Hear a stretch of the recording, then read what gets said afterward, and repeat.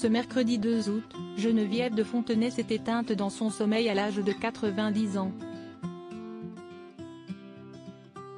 Personnalité appréciée des Français, l'ancienne présidente du comité Miss France était surtout connue pour son style iconique. Un style auquel ses petites filles avaient rendu hommage en mai dernier durant le festival de Cannes. Miss Élégance 1957 n'est plus à déclarer Xavier de Fontenay, dans un communiqué transmis à LCI et TF1. Ce mercredi, le fils de Geneviève de Fontenay a fait part du décès de sa mère à l'âge de 90 ans.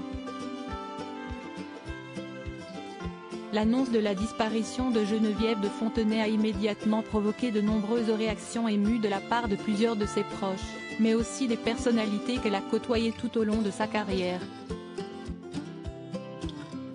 C'est le cas de Jean-Pierre Foucault, qui a fait part de sa tristesse sur les antennes de BFM Télévision, on ne peut qu'être triste à l'annonce de la mort de Geneviève. C'est le personnage incontournable de l'élection des Miss France pendant quelques décennies. Sylvie Tellier, qui l'avait remplacé au sein de la délégation Miss France a aussi réagi à la mort de sa prédécesseur en postant un message sur son compte Instagram, dans laquelle elle évoque la fin d'une époque, c'est toute une page de l'histoire Miss France qui disparaît avec elle. Elle restera à jamais dans nos mémoires et particulièrement dans la mienne. Il faut dire que Geneviève de Fontenay a été l'une des personnalités françaises les plus iconiques de la scène médiatique de l'Hexagone. Connue pour son franc-parler légendaire et surtout pour son style vestimentaire, cette dernière a même inspiré ses deux petites filles, Agathe et Adèle de Fontenay, qui lui avaient rendu un bel hommage durant le festival de Cannes en mai dernier.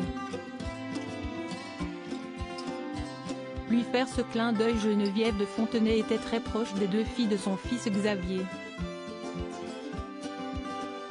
Agathe, 26 ans, et Adèle, 22 ans, s'étaient même exprimées sur leur relation avec leur grand-mère dans les colonnes de gala en juin dernier. Ces dernières avaient évoqué l'humour de Geneviève de Fontenay et aussi certaines des règles qu'elle avait fixées à ses petites filles, comme l'interdiction de porter des jeans à trous. Chez les Fontenay, la règle était l'élégance. Une règle que les deux sœurs ont respectée à merveille durant le dernier festival de Cannes, en montant sur le tapis rouge dans une tenue hommage à leur grand-mère. Agathe et Adèle de Fontenay étaient présentes sur le tapis rouge, toutes deux vêtues d'un smoking, et d'un chapeau ressemblant fortement à celui de Geneviève de Fontenay. Sur Instagram, Agathe de Fontenay avait partagé leur tenue avec un message particulièrement touchant concernant sa grand-mère, heureuse d'avoir pu rendre hommage à notre grand-mère lors d'un si bel événement. Il était important pour nous de lui faire ce clin d'œil, elle qui ne peut plus nous accompagner dans ce genre d'endroit mais qui continue de nous inspirer quotidiennement.